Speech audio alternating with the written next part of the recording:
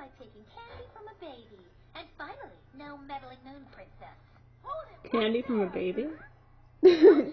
okay, whatever floats your boat. Okay, so change that line. Not necessarily, but yeah, probably Not necessarily. Never mind. okay.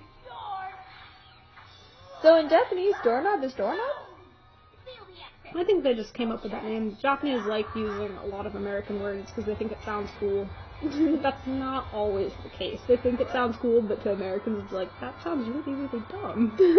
but I'm glad you think it sounds cool. More power to you.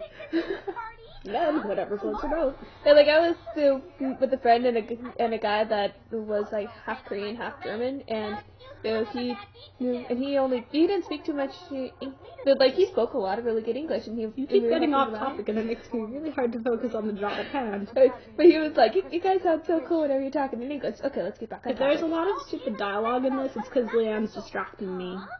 I'm a ADHD fellow, so